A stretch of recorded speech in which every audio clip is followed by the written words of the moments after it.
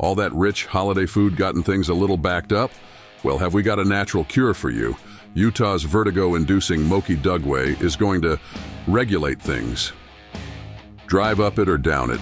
You can't go wrong. Our favorite is starting at the top and getting a bird's eye view of the situation. You'll see the world through the eyes of an eagle. And yup, we'll be driving down that. But if a guy on a bicycle can do it, shouldn't be a problem for the rest of us, right? I sure would like to see someone unicycle that one day.